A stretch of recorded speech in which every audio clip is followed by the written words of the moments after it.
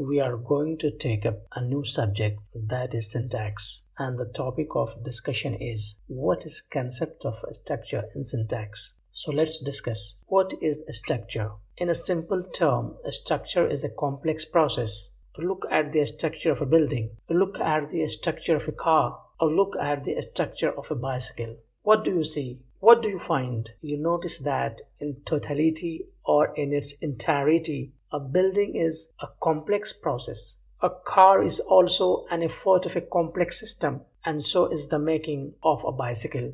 But do you know that the making of any complex thing starts with a very simple process, with easy steps? It begins with utmost basic things. How is a building constructed? The process begins with bricks, cement, sand, iron, and so on. Likewise, think about making of a car. How is it manufactured? It is a fascination of mechanical process. It is a combination of mechanical and electrical parts put together to form a shape. So is the making of a bicycle. Look at the parts of a bicycle, how they are scattered. Some of these may be even the parts of a car or other vehicles too. In the way they are scattered, do they make any sense? Do they produce any meaningful outcome? Of course not. They don't give any meaning, any sense. They do not form any shape. Well, when they are arranged in a meaningful way, in a sensible manner, they give a proper shape. That shape may be that of a bicycle or a bike, or for that matter, with any object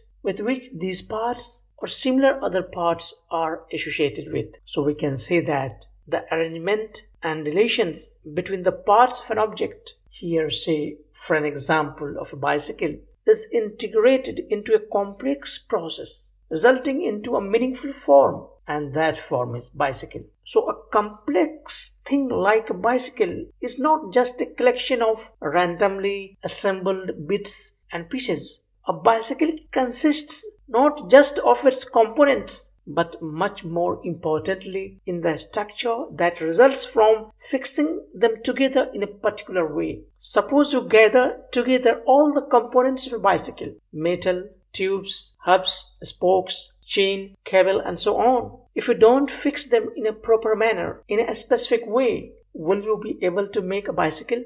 Definitely not. So, what we get from the discussion is that a structure is all about the arrangement and relations between the parts of something. A structure is a complex process.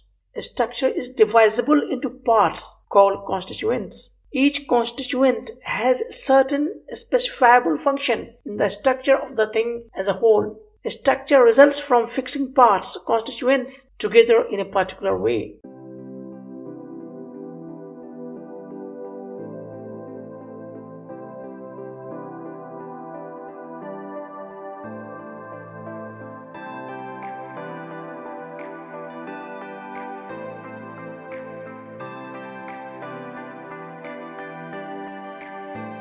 Hope you understand the concept about what we mean by structure. Thank you and goodbye.